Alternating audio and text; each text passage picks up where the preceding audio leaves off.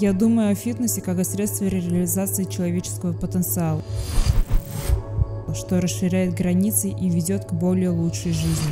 Меня часто спрашивают, как я стала спортсменкой. Позвольте мне рассказать вам.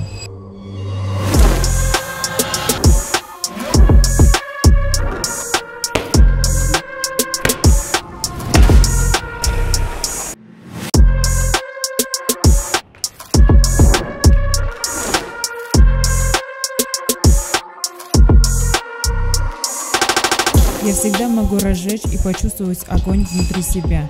Но ничего не менялось для меня, пока я не решилась действовать ежедневно. Так что откажитесь от всего, что вас останавливает. Будь то ваши мысли, другие люди, развлечения. Начните действовать прямо сейчас.